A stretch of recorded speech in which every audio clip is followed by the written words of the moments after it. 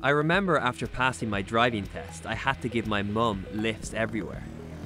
I remember on these journeys that she would often ask me a ton of faith based questions. At that time, I was still working out what I believed. I knew loads about Jesus and the Bible, but I had questions about both. Now, over time, my faith grew stronger, but I have to admit that I have worked through some pretty serious doubts, and still do. My mum really wanted me to believe because it meant so much to her, and it can mean a lot to many people in our lives. And so when we struggle with faith, it can sometimes feel like we're letting them down. But doubt, it's always been part of faith, and it always will be. It's natural, it's real, and it's something that Christianity embraces. All right, push me.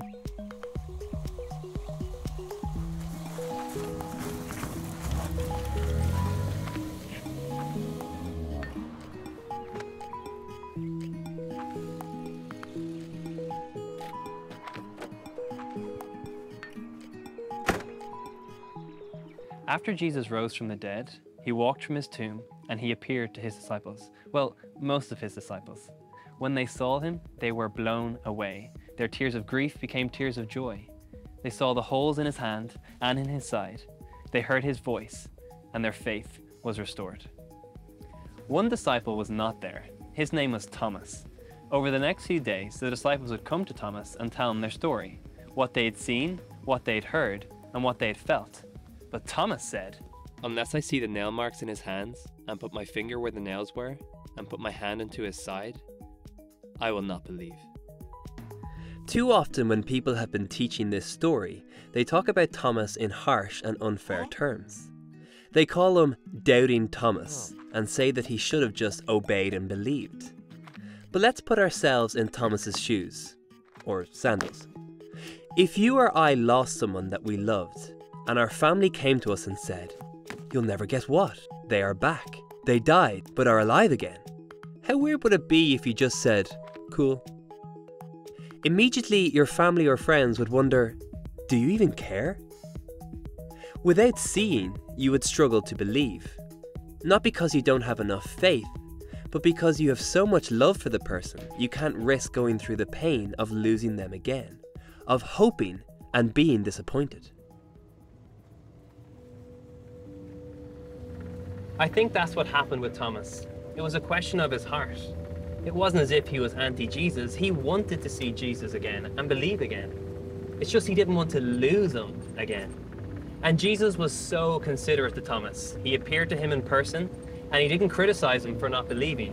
He didn't give him a list of reasons for why he should have believed. He said, Here, touch my wounds, touch the places where the nails have pierced. He gave Thomas the opportunity to believe again, to hope again. I love that Jesus chose compassion over criticism. The God who became man and suffered death for us revealed his scars in order to meet Thomas where he was at. And he also said, You believe because you have seen. Blessed are those who will believe without seeing. When Jesus said this, he was talking about us, people today. He was saying he knows how hard it can be to believe, how hard it can be to hope. But I love this encounter, and I can relate to it so well. I think many of us can. Jesus set Thomas free from the need to pretend that he had no debts. He gave Thomas the permission to be honest, to own his debts, ask the questions, and seek the answers. In one sense, we can never truly know what Jesus was like, as we weren't there 2,000 years ago. But what we do have are four historical accounts of his life, which speak of his incredible kindness and love. Even the ancient historians of that era back this up. The historians Pliny and Lucian record him as a wise and well respected teacher, while Josephus even talks about his wonderful works. Some say that Jesus was just a wise man, a great religious teacher, but no wise man has ever claimed to have the authority to forgive sins like Jesus did with the woman caught in adultery. And no wise man has ever known, in advance, the inner details about countless people like Jesus showed with the suffering woman. And no wise man has ever risen from the dead, sought out his most doubting and hurting followers, showed them his wounded hands and feet, and whispered to them and said, Believe me, it's true.